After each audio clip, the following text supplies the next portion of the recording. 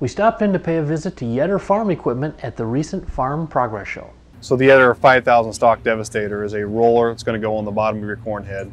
Um, it's uh, it's going to be spring loaded to give it some down pressure, and then on that roller there is uh, some flat bars or paddles welded on there, which uh, is going to actually crimp that stalk. So what we're doing is we're we're trying to protect the tires on the combine uh, the, the grain cart, the tractor pulling the grain cart, virtually every piece of equipment that comes into that field. We're going to be protecting them tires by flattening the stalks, but then also we're actually uh, doing a residue management process where uh, those crimps are going to release the, or the moisture out of the uh, stalks um, and then it's also going to allow uh, microbes to get inside of there to start to decompose that stalk much faster. So we're starting that residue management uh, process right there during harvest. So with late harvest, um, we, you know, we may not get a chance to get all the, the planned tillage processes done. Uh, the vertical tillage, the deep ripping, where that may be. And so how does that carry through to next year?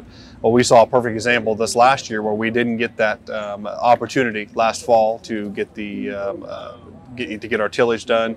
Uh, then we fast forward to spring. We stayed wet, we stayed cold. We didn't get a chance to get that tillage done then. So uh, as we said this year, we had a lot of uh, accidental no-tillers uh, that were just actually no-tilling right into them standing corn stalks. So um, if that's the case, if we repeat that again by using the stalk devastator in the fall, we've already started that residue management uh, process, that decomposition of the stalk.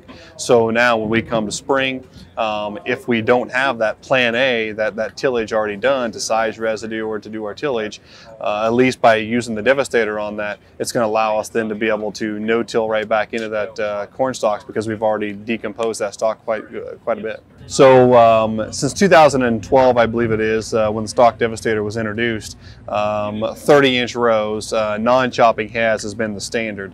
And so in 2018, we actually introduced another model of Stalk Devastator, a little bit different, um, but it was able to go on to chopping corn heads and onto 20 or 22-inch corn heads. So today, um, there are almost 60 different models um, that we can actually put on corn heads. Um, so 30 inch rows, uh, 6, 8, 12 row, 16 row, 30 inch heads, but then also now the 20 inch, 22 inch, and a lot of chopping corn heads as well. So often we get asked, you know, will um, my uh, corn head, after I put the Devastator on there, will it work on my head cart?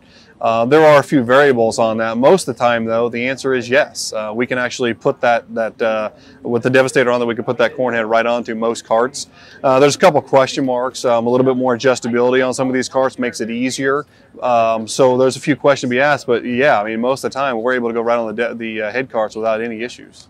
Well, certainly in 2018, we got a chance to find out if it's going to work in muddy conditions across a lot of uh, the Midwest. Um, and just as in previous years, what we saw was uh, most everybody that was running them never even noticed that they were on there. Um, certainly going through the, the muddy conditions, uh, the roller um, it's actually just going to continue to roll through there. And so um, actually on the roller, uh, we have the flat bars or the paddles actually over top of the row. And so what happens is, is those corn stalks, as we're flattening them, that basically rubs that and it's going to clean that off. So in between the rows, uh, there's actually just the bare roller there. There's no paddles on that. And so that that's, uh, that's so that it does not actually build up there. So certainly uh, it's going to go uh, work very well going through those muddy conditions. Yeah, so we're entering 90 years uh, with Yetter, um, really today what our focus is is residue management, seedbed preparation, and uh, nutrient application. And so uh, a lot of our uh, a lot of our products, or most all of our products, are actually centered around that product. And uh, we we kind of state that you know for us it's residue management 365. So every day of the year we're worried about residue management. That starts with the combine, that carries through to the to the planter, uh, maybe strip till pass in between there. Uh, the nutrient application, of course, um, we've got that in, in the fall. We have that with pre-plant on the planter and then also on side dress. And so uh, that's really our focus that, that we do um, every day of the year.